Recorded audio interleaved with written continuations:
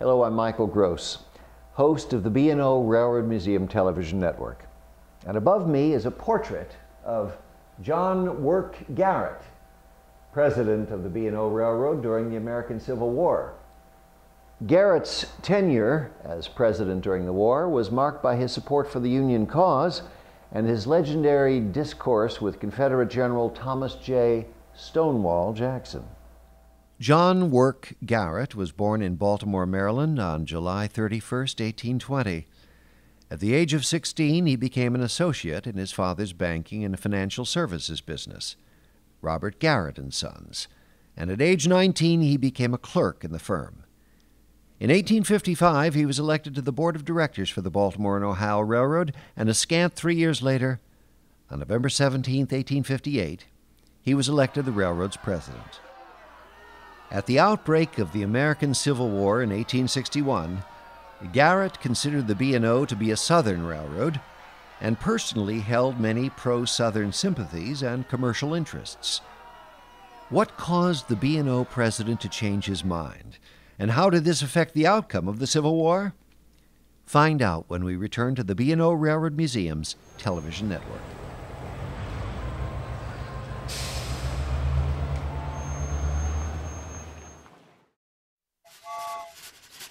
I've been working on the railroad. I've been working on the railroad all the live long day.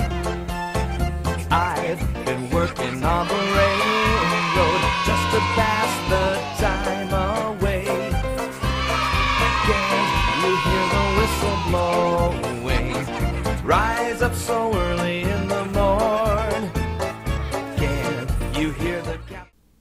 Within the first months of the war, Confederate troops under Stonewall Jackson constantly attacked the B&O, tearing up tracks, destroying shops and locomotives, and costing the railroad hundreds of thousands of dollars. It is speculated that Garrett's business sense and anger caused him to abandon any emotional ties he may have had with the South and throw the weight of his loyalty and the power of his railroad behind the Union. Under Garrett's direction, the B&O was instrumental in supporting the federal government in a war effort where the railroads were used as a strategic military transportation system for the first time in history. The B&O's lines literally ran east and west along the dividing line between the Union and the Confederacy. Agents and conductors of the B&O Railroad began reporting to the United States War Department about Confederate movements and positions. Special trains for troops and munitions were arranged, and Garrett, now a confidant of President Lincoln, became a highly powerful agent of the White House during the war.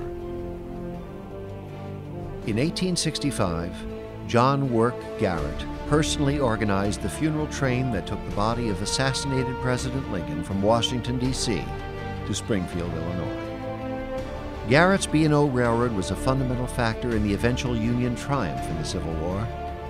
Garrett was president of the B&O Railroad for 26 years, a position he held until his death on September 16, 1884, at Deer Park, Maryland. The B&O Railroad Museum recently opened its new exhibit to commemorate the 150th anniversary of the American Civil War. The war came by train. Plan a visit soon to see not only the largest collection of Civil War railroad equipment in the world, but artifacts never before on public display. This is Michael Gross. Thanks for watching the B&O Railroad Museum Television Network. Across the United States, the rising cost of government, coupled with tough economic conditions, has forced cities and towns to do more with less. That's when they turn to Grant Capital Management for alternative funding solutions. Grant Capital Management, a leading provider of lease financing to the public sector, helps public administrators supplement their capital budgets, enabling them to provide essential community services. Founder and CEO J.P. Grant believes in giving back to the communities in which it conducts business. While working in New Orleans, Grant Capital Management made a significant donation to fund the New Orleans Recreation Development Foundation's youth programs. As a result, New recreation activities and the Summer Jobs Initiative helped reduce crime. When a fiscal crisis in Grant Capital Management's home city of Baltimore threatened to close municipal swimming pools, their financial assistance made it possible for Baltimore's children to have a safe and happy summer.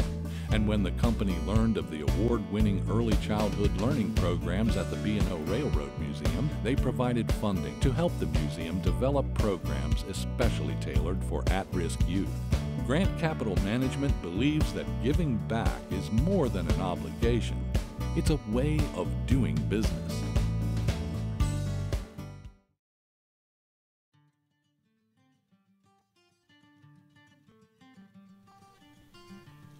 Interested in learning more about the B&O Railroad Museum and Ellicott City Station? Follow us on Facebook and Twitter with daily updates on upcoming events, coupons, photographs, history, and things to do in Baltimore. You'll never be off track.